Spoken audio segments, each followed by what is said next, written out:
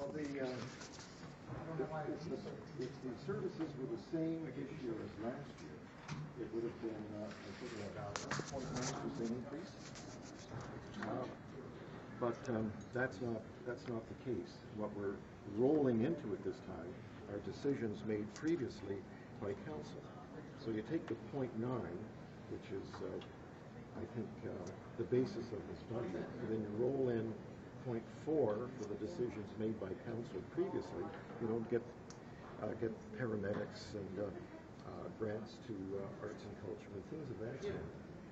Uh, and that comes out to one point one three, and then you divide that two-thirds to the residential portion.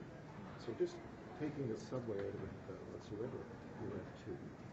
Uh, and then when you add the subway, which is exclusively on the residential uh, levy, point five. The only workable um, number you know, the number that you can actually dive into and, and see what you can find uh, is that point 0.9. And so uh, that will have to be done judiciously uh, and uh, hopefully without any impact on the level of services that this city delivers. Would you be satisfied with that though, if, it stays at two point five percent, is that? Well, let's, I'm not going to draw any conclusions until we've, we've done our work. Uh, What do you make of the mayor's uh, restart of the gravy train rhetoric? Just is it just empty?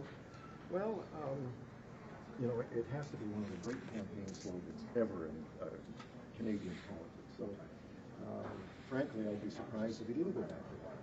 But uh, while that slogan is good at getting you elected, it's not necessarily inform. It doesn't inform people uh, with respect to a budget debate. That's something else altogether. Was the 1.75% that he asserted was a practically a done deal? Was that ever Well, realistic? as explained to me, 1.75 came from out here.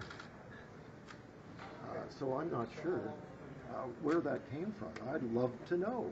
And I would love to know uh, with more insight and precision how he would uh, change that 0.9 uh, percent increase to something that fits into the 1.75 uh, bubble. Is the mayor not in a really great position right now because he can pull a number out of the air, call for it, not have any actual authority over the budget, and then say that the gravy train is back and actually let staff count the vote? Well, you have to, in the end, count on an informed electorate, and that's your job, and I know you're going to do it well. Councillor, more news today again about the possibility of the Bills uh, moving to Toronto. What are your thoughts on this?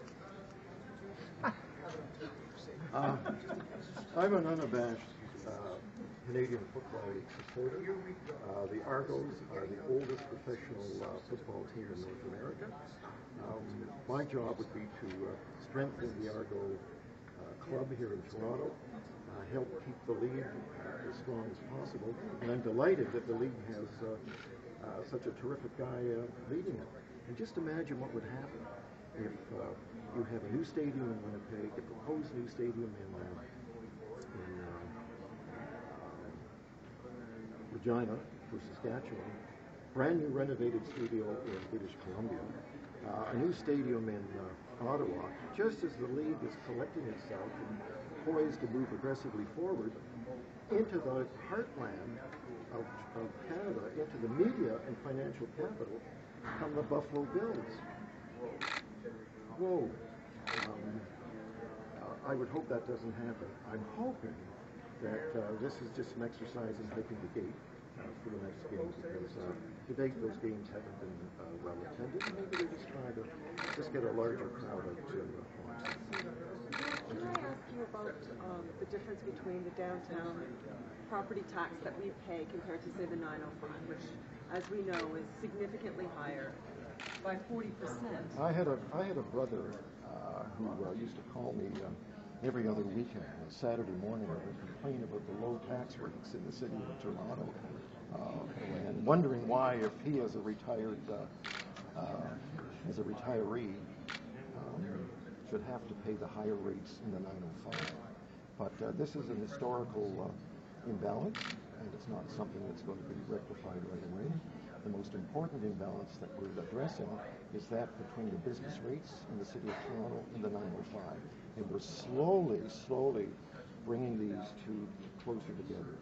And that will be in the best interests of the residents of Toronto. But would it be good to rectify it? I mean, is it, isn't, isn't there a danger of the sprawl that, you know, you see in American cities?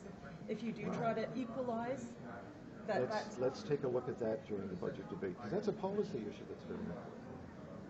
So, just finally, the mayor's essentially saying the gravy train is back on track. You're saying that that's hyperbole? Yes. That's the kindest word I've used.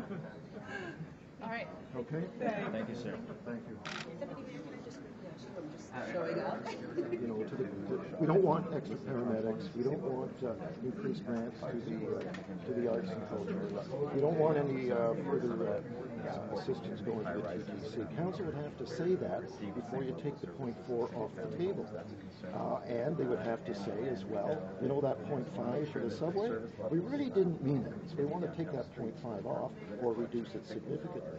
And if you don't do that, if you don't, if you don't take, uh, make your changes in that subway levy and in the uh, previous commitments of council to uh, uh, infuse other uh, departments with more money, you're left with a point nine.